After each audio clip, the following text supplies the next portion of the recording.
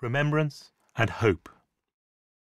I'm Simon Burvill, co founder of Gaze Burvill, designers and makers of fine outdoor furniture. And I have a story to tell of a magnificent oak tree of exceptional provenance, which commemorated a terrible battle, and which in turn was devastated by a terrible storm, but which now lives on, adding a greater meaning to a life cut short. This is a story of remembrance and hope, which also had a twist in its tale as we unexpectedly revealed secrets which the tree had kept hidden for over half a century. The Battle of Verdun, fought from the 21st of February to the 18th of December 1916, was one of the largest and bloodiest battles of the First World War, with over 700,000 casualties between the French and German armies. January 1919, two oak trees were planted in the Royal Botanic Gardens at Kew, from acorns picked up from the battlefields of Verdun in 1917. They grew into a living memorial to those who lost their lives, including staff from Kew Gardens, not only in the Battle of Verdun, but also the whole of the Great War. These trees became known as the Verdun Oaks, one of which was planted in a prominent position beside the Chinese lions and lake, close to the war memorial plaques situated in the temple of Arethusa and near to Victoria Gate. For 94 years it grew to great stature and great girth, thanks to its sunny position in the garden with no other trees to compete with for light, and it became a magnificent oak tree. Six years short of its 100th birthday, it was severely damaged by St. Jude's storm on 23rd of October 2013 and in January 2014, 100 years after the start of World War I, it had to be felled. Tony Kirkham, who is responsible for all 14,000 trees at Kew, called me in January 2014 and asked me to have a look at the trunk, as he had had an idea to make a special seat out of this tree to mark the centenary of the end of the Great War and to be unveiled in November 2018. It was a damp and dreary winter's day when Jeff Tyler, an experienced timberman, and I arrived at Kew, and the two of us were not that optimistic about finding useful wood, because parkland trees do not tend to produce fine timber, and 97 years old is actually very young for an oak tree. However, this was an impressive tree for its age, and we could see there was usable material in it, and helpfully Jeff also had the foresight to ask Tony if other trees had come down in the storm which might also produce good or interesting wood. We ended up taking a full Arctic load away to Helmdon Sawmill in Northamptonshire, where expert miller Steve prepared all the trees for sawing, first by removing the bark and then inspecting them closely with metal detectors. We started off milling these 14 trees, and then finally it was the turn of the Verdun oak. Watching a tree trunk go through a sawmill is one of the most knuckle biting stages in the transformation of tree to usable boards, as you never know what you might find. It is all the more exciting when oak is being quarter sawn, a highly skilled cutting technique which, as well as revealing oak's unique and beautiful medulla rays, also produces the most stable cut, with the annual rings running perpendicular to the surface. At my company, Gaze Burvill, we think of it as the fillet steak of the tree. We were on the final quartered segment of the Verdun oak tree and had successfully produced 18 boards from the trunk when we suddenly hit a series of nails, and with a dreadful screech and loud clatter, we were left with a broken saw blade and a large piece of partially milled oak in a state too dangerous to saw into. Serendipitously, this orphaned piece, a sculptural V shape, possibly for Verdun, had its own beauty about it. The iron nails, buried deep in the tree, had reacted with the oak, creating livid purple stains like a large dark wound, which was poignant and rather haunting. And so, unexpectedly, the Verdun bench was born, a raw, evocative piece which shows its scars proudly.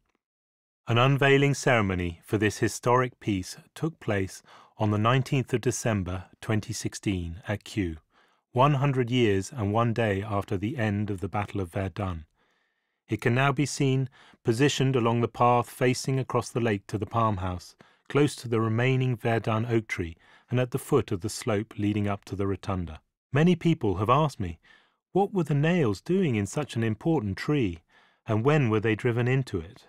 By carefully studying the end grain, where every piece of wood reveals the life it had while being created, and correlating it back to the base of the whole tree, it was possible to pinpoint when the nails were hammered into it. And this was around 1946 to 1948, when the tree would have been just 27 or 29 years old. Might it have been a sign, drawing attention to the tree once more at the end of World War II? Or simply a notice asking people not to feed the ducks or swim in the lake? Perhaps we will never know. As the future Verdun bench was creating drama in the sawmill, the beautiful unblemished boards successfully cut from the Verdun oak trunk were quietly taken away by Jeff Tyler and his team to be air dried, a stage which continued for two and a half years before being kiln dried at the very end of 2017, and then delivered to Gaze Burvill's workshops in Hampshire to create a further memorial. The seats made from this wood are not only a unique celebration of the end of the First World War, but also an invitation to reflect on the terrible losses suffered in it, and remember those, including staff and former staff of Kew, who gave their lives, and those who survived but whose lives could never be the same again. So there are two sides to this remembrance and hope. And our seat for Kew is actually two seats connected at the top, tall and dramatic, curving in backing onto, curving out. The first side, to mark remembrance, looks towards the Crossroads Circle and faces the War Memorial at Kew. It has the concave side of the curve and is a contemplative space, enveloping and sheltering, with references to the war through the use of Corten steel and scorching of the oak, as well as its design, which draws inspiration from the coils of barbed wire used in the trenches, but transformed into tactile oak coils. The other side represents hope and looks southwards across the lawn towards the great palm house. The convex shape of the seat on this side curves upwards and outwards and is optimistic in outlook, confident and open to the world and celebrating nature's healing touch. Here, a stainless steel structure supports the silvery grey oak branches, formed individually by hand with each piece paying attention to the grain of the unique oak from which they were made. The overall form of the seat references the shapes of the great palm house, which acts as a magnificent and uplifting backdrop to the piece. The design work to create this seat began in 2015 and included building a full-scale, 4-metre wide mock-up profile to determine its comfortable shape and also to act as a canvas onto which various forms of lattice were projected as studies for the seat backs.